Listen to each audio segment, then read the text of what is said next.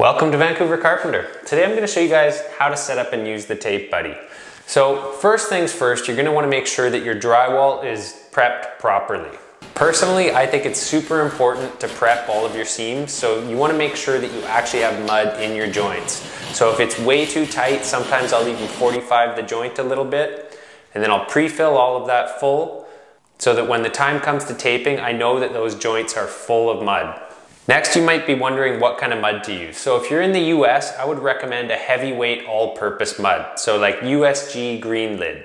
If you can't find that, the next thing I would say is go to a lightweight all-purpose. If you're in Canada, a lightweight taping mud is a great choice because most places we don't have heavyweight all-purpose. Okay, the next thing that's super important is getting your mud thinned down enough because it's really hard to pull the tape out of this tool if you have the mud too thick. And almost all muds come way too thick to use without mixing them. So if you don't have a mixing paddle, you can pick up one of these Mixits along with the Tape Buddy. They do a good job.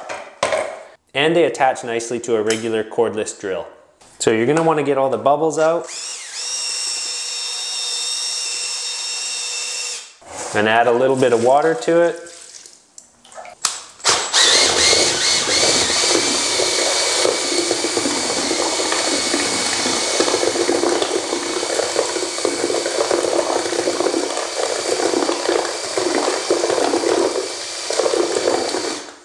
Okay, so that's fairly thin. It's running off the knife and should be thin enough to lay the tape with. Think of something like yogurt. Because this is plastic, it's not gonna scrape the sides of your bucket and put little shreds of plastic in there. Next, you're gonna wanna clip this out of here.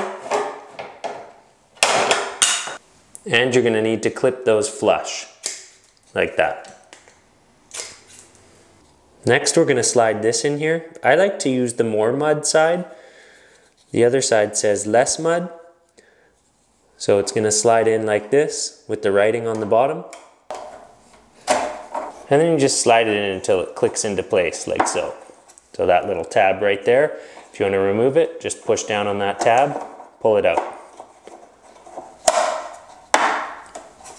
Next, when placing the tape in, it's super important that you get this going the right way.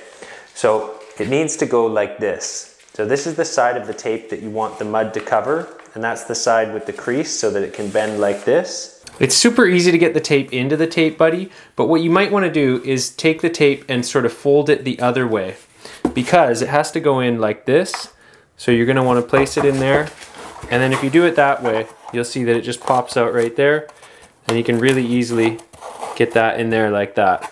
Once it's through there, pull it through and again, feed it through right here. And there it is. So there's a sweet spot in terms of the size of a roll. I find that a 250 foot roll is just right. If you do only have a 500 foot roll, you might want to put something like this in here and that just holds it up. So a two inch piece of ABS can work. I'm using a vacuum wand here, but that just holds it up so that it can slide more freely through here instead of getting bound by the friction of the tape. So once you got your tape through, you might notice that it's got these handy little notches right here that help it sit on a bucket. So that helps when you're pulling it to hold it in place. So I'm just gonna fill this guy up.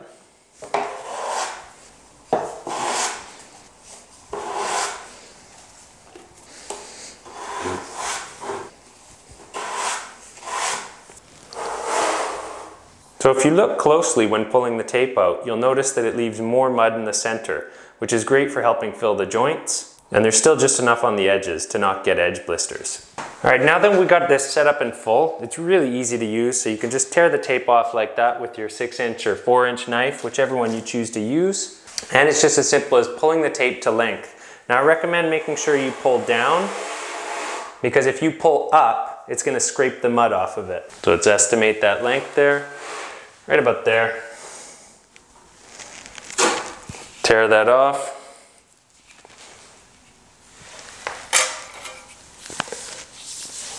I got a little extra here. I'm gonna cut that off, put it on this joint. Nope, too short. Don't need that piece. Okay, but then just wipe the mud out. Super easy.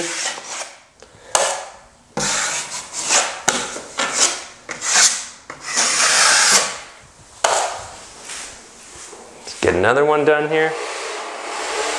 Again, pull down, like so. Go like that. Extra tape, take it off, put it in a bucket or in my case on the floor.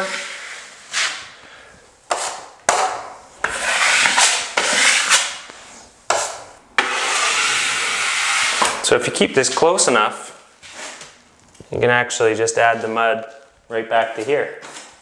Now when it comes to corners, you can still use this tool. It works pretty well. So just line it up in the corner. And then what you're gonna notice is the tape's gonna wanna crease right in the middle on that line. So just use your knife to pressure it into the line right in the right spot. And then wipe out one side at a time. You're gonna wanna make sure that you have a nice worn in knife. And then do the second side. It's also perfectly acceptable to overlap small tapes where necessary. Don't do it on butt joints, but on a factory joint or on an angle, it's not gonna be a big deal because there's gonna be enough mud to cover it after.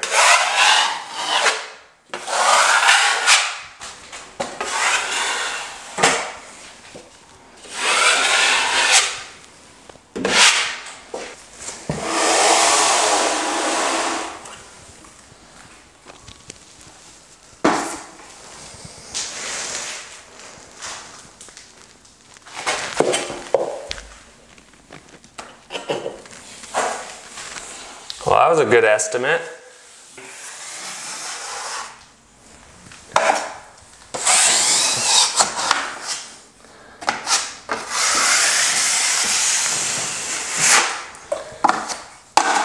I will admit that this is actually going to be a lot easier for a lot of you guys than some of the methods I've shown you already.